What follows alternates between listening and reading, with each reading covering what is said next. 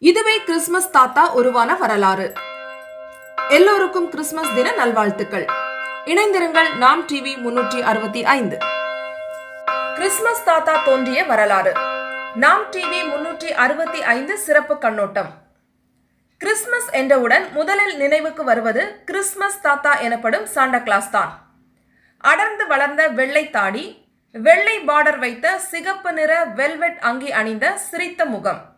இவற்றோடு முதுமையை பிரதிபலிக்கும் வசீகரமாக வரும் கிறிஸ்மஸ் தாத்தாவை பற்றிய சுவாரஸ்யமான தகவல்கள். ரோம் சாம்ராஜ்யத்தின் பதாரியா பகுதியில் லைசியா துறைமுகத்தில் பிறந்தவர் நிக்கோலாஸ். இளம் வயதில் பாலஸ்தீனத்துக்கும் எகிப்துக்கும் பயணம் மேற்கொண்டார். மீண்டும் லைசியா திரும்பிய நிக்கோலாஸ் கிறிஸ்தவ பிஷப் பதவியை ஏற்றார்.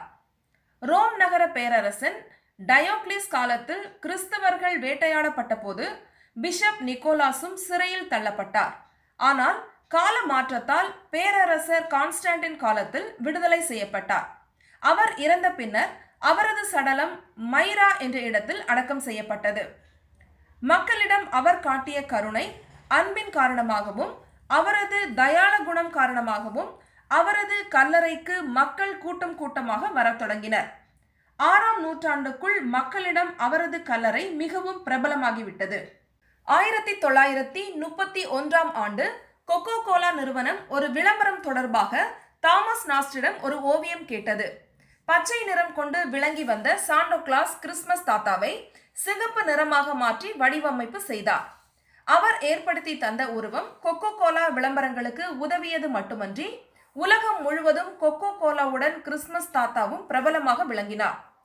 கிறிஸ்மஸ் தாத்தா ஏழைகளுக்கு உதவி செய்வார் குழந்தைகளுக்கு ரகசியமாக பரிசுகள் தருவார் பெண்களை ஆபத்தில் இருந்து காப்பாற்றுவார் என்று பல வகையான கதைகள் சொல்வார்கள்.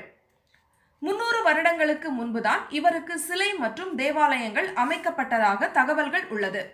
கிறிஸ்மஸ் தாத்தா மான்கள் பூட்டி வண்டி மூலம் பரிசு பொருட்களுடன் வானிலிருந்து பறந்து வந்து தருவார் என்று சொல்லப்படுகிறது. இந்தியாவில் ஜிங்கிள் பெல் பாடல் ஒலிக்கப்பட்டு கிறிஸ்மஸ் தாத்தா வேடமணிந்து வீடு வீடாய் பரிசு பொருட்கள் வழங்குவதை வழக்கமாக்கி கொண்டனர். மைரா பகுதிக்கு வந்த இத்தாலிய மாலுமிகள் நிக்கோலாஸின் கல்லறையிலிருந்து அவரது நினைவு பொருட்களை இத்தாலியின் பாரி நகருக்கு எடுத்து சென்று விட்டனர் அதனால் ஐரோப்பா முழுவதிலும் அவரது புகழ் பரவியது. நிக்கோலாஸ் என்பவரே ஐரோப்பிய மக்களால் சாண்டா கிளாஸ் என்று அழைக்கப்பட்டார். இவரை பற்றி பல்வேறு கதைகள் சொல்லப்படுகிறது.